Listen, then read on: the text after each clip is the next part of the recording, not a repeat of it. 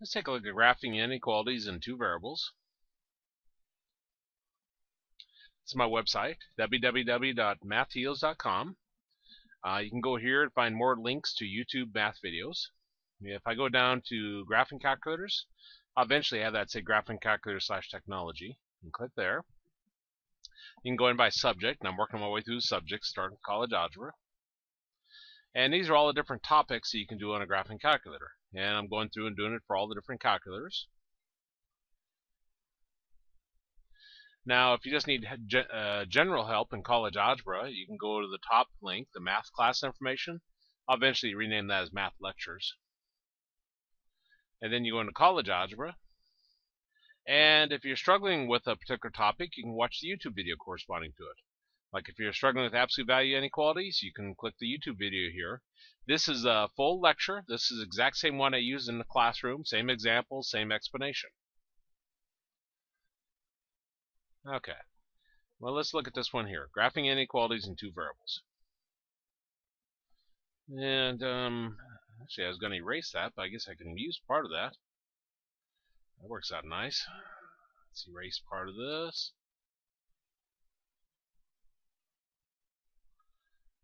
There we go.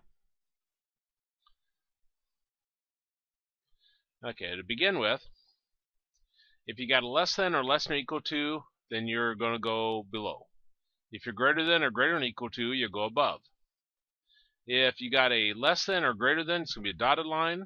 If you got less than or equal to or greater than or equal to, it'd be a solid line.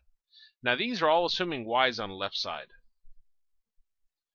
So let's look at our first problem we got y is greater than 3x minus 1. Well, if I come over here, greater than is above, and greater than down here is dotted. Well, let's see uh, what that means. Okay, so come back here.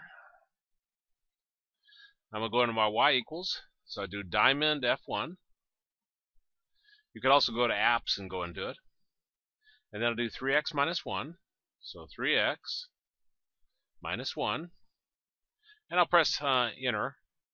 But now I'm going to do an up arrow to highlight 3x minus 1. Now you see the style menu. It says F6. To get into that, we'll do second F1. And the very bottom you see it says above and below. Well, we said this one's above. So I'll do 7 for above. And now if I do my graph, I do diamond F3.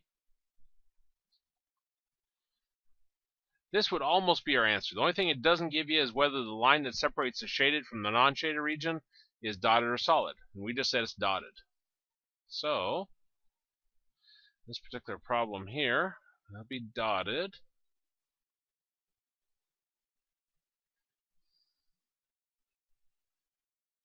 Like that and then this is shaded over here. And that's our answer. Now let's look at another example. We got this one.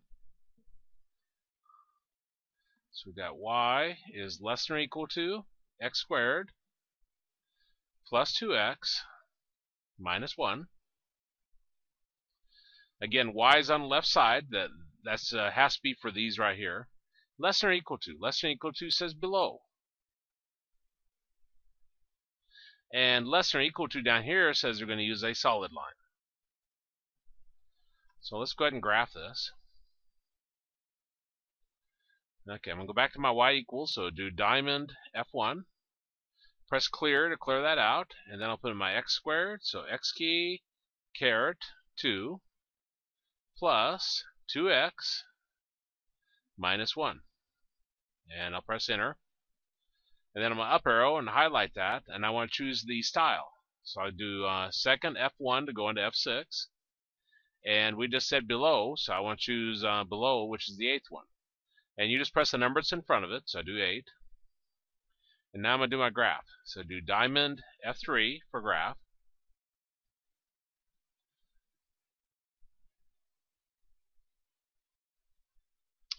And uh, then this will give us our answer. Now, the what separates shaded region from non-shaded region will be a solid line.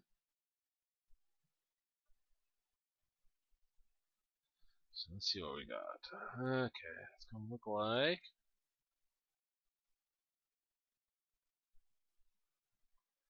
something like that, and then this is shaded here.